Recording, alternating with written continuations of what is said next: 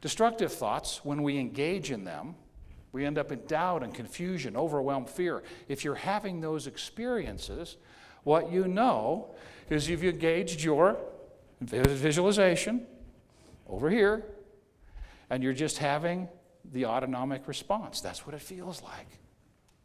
So if that's in your life, just know you've created an expectation for how you'd like your life to be. Instead of focusing on creating that, you're living in frustration that it hasn't happened. That's it. This isn't complicated. Matter of fact, it's just science. And I'm so glad we have the youth here with us. I'm so grateful. Because if you could learn these principles at your age, you could save yourself decades of pain. Decades. My greatest concern about the youth, they're in such a visual, virtual world with text messaging and video games that they might lose touch with reality and the actual physical creation of a dream. Hi, Julie. Hi. Good to see you. Our destructive thoughts. If our work that we're doing is boring, mundane, repetitious, burdensome, hard, you know that you've been using your vivid visualization destructively. That's the evidence. If, however, we're involved in constructive thought, which is done five ways. i am going to share with just a little bit about each one of them tonight.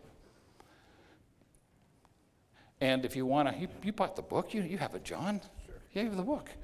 The book has an entire section on these five ways of using your mind to mentally rehearse, to seek inspiration, to explore, to problem solve and plan and goal set. That's what vivid visualization is designed to do. And when we use it that way, the power of creation, oh, oh, oh this, is, this is important. I put this slide in the last minute today. wow, can you just bear with me for a moment? I got to go back over here. Sometimes we don't like this. We would rather be here and beyond, right? But we're skipping all the work of creation. We're skipping the stretching and the growing and the becoming all we can become. There is no power of creation in the universe. I call that God. You can have whatever name you'd like for it, it doesn't matter, because I can tell you how it works. It will never grant to you that which would rob you of the opportunity to stretch and grow and become all you're meant to be. When I said, I long to cry to the God of my youth, but the God of my youth will not hear my cry, it's because I wanted to be rescued. And that power is saying, No, David, I want you to grow. I've got a mission for you. I want you to have a life of significance. Will it always be joyful in this process? No, sometimes it's going to be downright painful. Growth is sometimes painful. But when the growth occurs, it is always glorious and beautiful. It will never rob you of this opportunity. So don't spend any time at all asking the power in the universe to grant this. There are some who say, all you have to do is say, I'm worthy to receive, and the universe is stupid and it'll give it to you. It, first of all, it's not stupid, it loves you unconditionally unconditionally. And it would never rob you of that opportunity. So don't ask for it. Because you'll just end up being frustrated that it's not happening. And there are plenty of pundits who will support it. But I can tell you right now, their adherents are broke, broken, and angry. That's the truth. I just knew there was an answer and I spent $20,000 for coaching. I know six months later they're just going to be $20,000 poorer. And they often spend money they cannot afford to spend. Don't go there, it's a waste of money. When we think constructively, which means this I want to grow, I want to create, I want to live a life of significance. What can I create? How could I create that? How would that serve? We will be shown this. This is very exciting. And when we are, If I had you wired to a functional MRI, guess what would happen? Part of your brain would light up that's normally dormant. That doesn't happen when we're escaping. It happens when we're seeking an inspired idea, an impression, and a solution to a challenge. When we're seeking that and we get it, everybody got this? You can't have a fantasy big enough to create this, it won't work. Your intentions, your real why, is to help us light up this part of our brain. And when this passion is ignited, it drives our focus, discipline, effort, and action to do whatever's required. We, we work without counting the cost or tracking the time. Whatever, whatever's required. Wow, I will fight through the mud. I'll fight through the rocks. I'll climb the mountains. I'll do whatever. I want that. That's what I want. I'll pay the price to get here because I've got the passion to drive it. I've got a story in the book about the last rewrite of the book. The book was going to the publisher on Monday, and I just got home from speaking. And I was mentally rehearsing and I saw it 70 pages shorter than it was. And I trusted this. Sunday night, just got back from a long weekend. Went in the office and wrote till sunup, coached all day. Wrote till sunup, coached all day, wrote till sunup.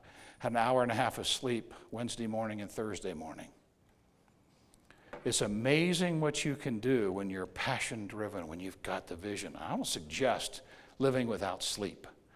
I just know how far you can push this if this is your intention. If your intention is to change a life, to move somebody, to create something powerful, you'll get the inspired idea. They're giving me a 10 minute sign, so let's go to work. This is an assessment, and everybody can take one for free. Go to ogmandino.com and take one. And when you do, you can double click on any measurement and find out what's happening in your thought processes. Left hand side, external world, people, tasks, discipline. On the right hand side, self esteem, joy in the journey, and mental creation, which is your source of vivid visualization, your source of motivation, inspiration. I'll just tell you this person. Can you see this measurement, goal oriented? Tremendous ability to vividly visualize. Life is not showing up that way. They are hating their life. They're running around like a chicken with their head cut off, and they are beating themselves up. Because this is what happens we create an expectation. Life doesn't show up that way, and as human beings, we turn inward and say, What is wrong with me? What is wrong with me? There's nothing wrong with you. We just need to learn how to use this more effectively. Now we're going to have some fun. I want everybody to pull out their tomahawk. That's your left hand. Everybody got it? Pull out your tomahawk. Use your left hand. You won't need to write while we're doing this. Left hand. Everybody ready? Now I'm going to turn my back to you so you can see. Up there is fantasy. Down there is catastrophe, that dark dungeon, despair, and discouragement. Can you see it over there? Got my tomahawk? You ready? Here we go. Repeat after me. Not going there today. I'm staying in creation. Now I equip my clients with tomahawks. I hear, I use it 75 times today.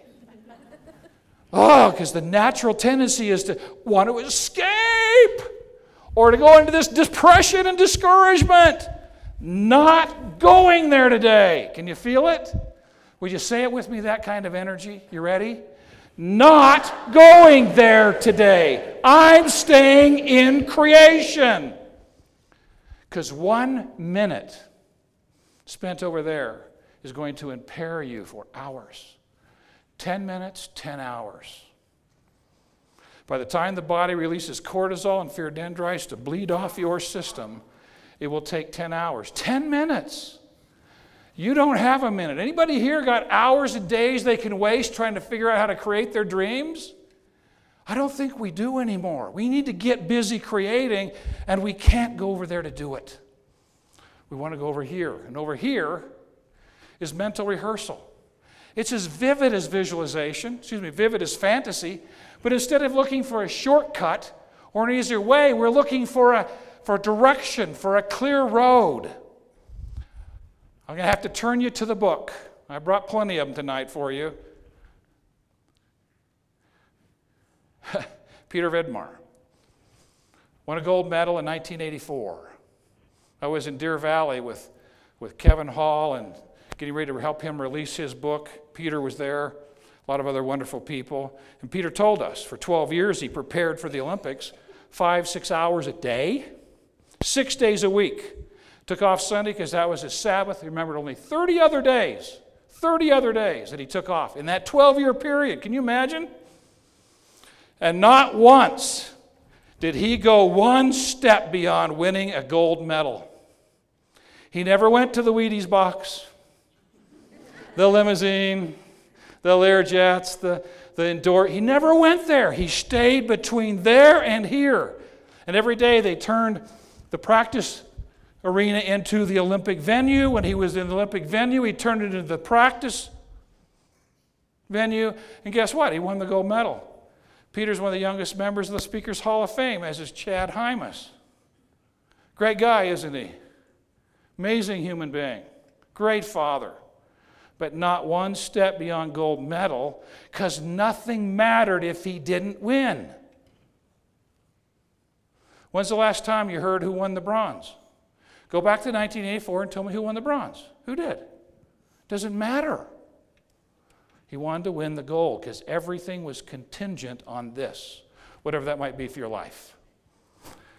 There's a great story in the book about a client who was preparing for a meeting, a really ugly meeting. Anybody been to one of those meetings where you just a couple days in advance you got all the anxiety building up and you just feel like you're going to get your head handed to you in a hat basket, you know, one of those things.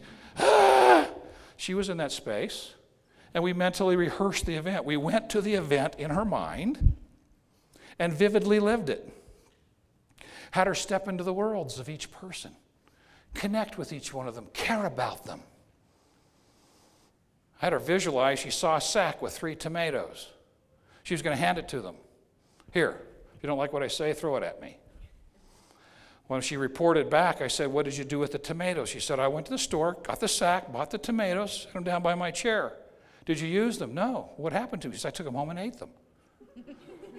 But just the visualization helped put her in the right mindset. The meeting went beautifully. And she said, Oh, Dave, I can't, I can't even imagine how many times I've gone into a meeting like that, needing to be right, defending my position, and the whole thing was a mess. And this was peaceful with a great resolution.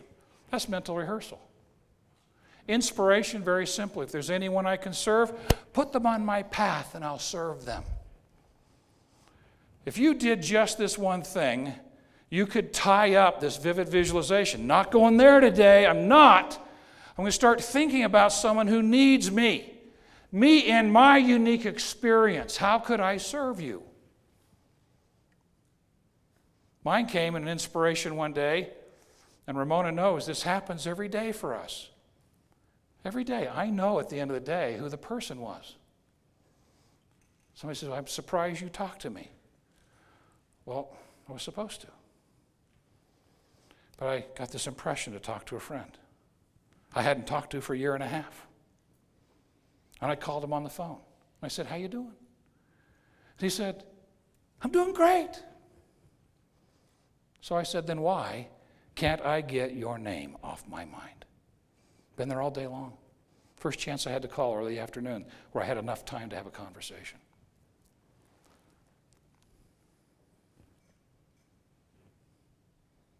Silence is the friend of a listener.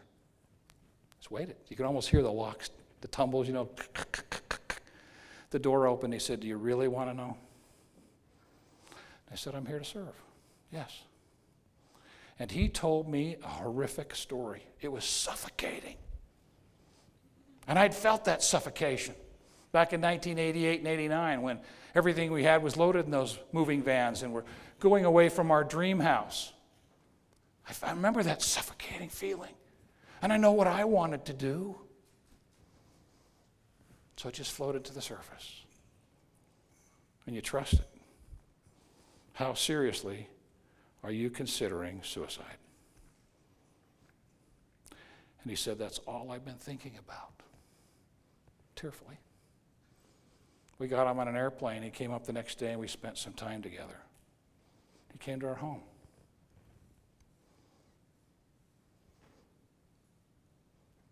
You want to know the power of vivid visualization? That was the night he was going to do it. That's not always that dramatic. But can you imagine the difference between that kind of vivid visualization? Who could I serve today? Name pops into your mind as vividly as a Ferrari. So instead of spending time with the Ferrari, you spend time, how can you serve? And everyone's fed. Everyone's fed. Listen for the whispers. And I wrote these words very specifically for you tonight. And take the assignment seriously.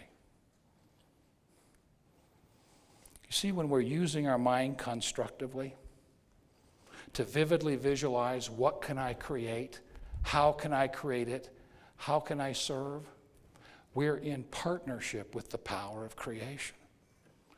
We have the same mission to bless the lives of others. Doors open, opportunities show up. It's amazing how it works. You see, abundance is not something we win, it's not something that we seek to receive. It's a sacred process in which we actively participate and eventually become. And this is how we become it. Now, I'll save these for the books. We can explore possibilities without making tangible commitments. We can problem solve. Oh, your minds won't stop thinking till it's fixed. Just ask your wife. Or maybe it's your husband. Or maybe it's a friend or a coworker. These systemic thoughts just turn and turn and turn because the world's on tilt till it's fixed. We can use this to our advantage by assigning our mind a problem to solve. Just give it one it can solve You'll wake up in the middle of the night with a solution. It's brilliant. That's a whole lot better than spending time over there in discouragement. Nothing is gained from that. Everything could be from this. I'm going to move on. Planning and goal setting. I want to show you this picture. That's Ramona and me at age 85. I was looking for the picture, I found it. That's our vision, vivid visualization. You know where we're sitting? We're sitting on the, the front porch overlooking the lake at Bear Lake at our cabin. And I'm looking her in the eyes. And I know I've been faithful to her in every way. What is today? The 29th of September? You can create anything from this day forward. Very few people in relationships have a plan they're executing. Last weekend, Ramon and I were up at the cabin for our quarterly retreat. That's two days where we're doing planning and resting, and we're just together. There are activities that we do every day, every week, every month, every quarter, and every year. These 38 years have been intentionally created, and you can too. In your businesses, just one comment for the night. When you figured out how much money you want to make, convert it to the number of lives you'll need to impact. Divide it by the number of months and weeks in the year, and then focus on impacting the lives. Because when the lives have been in fact impacted, what happens to the income? It's there. It's a natural outcome. It's not the focus, it's the outcome. Well, it's time for us to become an intentional creator of our life. I got up at 4 o'clock in the morning and wrote till 8 o'clock in the morning for four years, driven by a desire to address those who have been saying to me, David, I can almost touch it, I can almost taste it. Why can't I have it? Because you want to learn how to use your vivid visualization constructively. Then you'll ignite ideas and impressions and solutions to challenges. You'll ignite your passion. You'll take the action because nobody gets to skip the action. Nobody gets to skip the action. The work of creation is a requirement. It is either boring, mundane, repetitious, and burdensome because we're over there playing in the future, or it's vision, mission, and passion driven. The choice is ours, and it depends on how we use our mind. I'll share this with you tonight. You've got some great people here with wonderful books. You want to leave tonight with books to read. My book comes with a CD. Anybody know Og Mandino? Anybody studied Og Mandino? In the back is a CD of Og narrating the Ten Scrolls from the greatest salesman in the world. We recorded that the year, I didn't record it, but it was recorded the year that he passed away, 1996. It's so great to have it. That's part of the book. I want you to have one of those tonight. They're 20 bucks.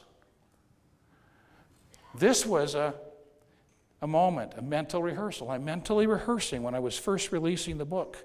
I said, How can I get this in the hands of people? I know people are in trouble. And the impression I got was have people buy 10 copies of the book. It's 200 bucks. Now go give nine of them away to someone who needs these principles. Now you get to work with me on helping bless lives, right? As a thank you, I invite you to attend a Tuesday night coaching call at 6 p.m. Mountain Time where I will walk you through every chapter of the book. I'll tell you the backstories, I'll tell you how to imply, implement the principles in your life, the practices, processes. It's a coaching session. And it's off mute. In other words, you can comment, you can participate. It's free. It's a free coaching session. Now, when I got that impression, I said, What a dumb idea. And then I remembered where these things come from. This turned out to be a really fun idea because there are a lot of people who can't afford a coach. You want to hire me for six months? It's $10,000. I'll be happy to engage your life and take it on, and it'll be worth every penny you spend. But most don't have that available. But they could do this. You want to go a little further? You can take the assessment, and I'll spend an hour to an hour and a half with you going through the measurements. Let's find out where you are. What thought processes are you having? They're all unique to you. Let's find out where you want to do your work. Then we will turn on your Intentional Creation Studio. It's an online learning center with 30 hours of downloadable material. And then you will join me for 52 weeks of group coaching that's done live on a video. I mean, you turn on your computer and you watch it. I teach you these principles. It takes about 10 weeks to get through them. There are six of them connection with people, using your mind constructively, being present in the now and passion driven action, being disciplined and structured, enjoying the journey, and healing your self esteem. That's what we do. We could go through that five times in the next year. Do you think by then you'd figure it out? Absolutely. The studio's $500, the assessment's 300. The group coaching is about 500, and tonight I put a little together something I thought would be fun. I gave the coaching away for free. So if you want to have the assessment, you want to have the material in the studio, you get to come to the coaching for free for a year.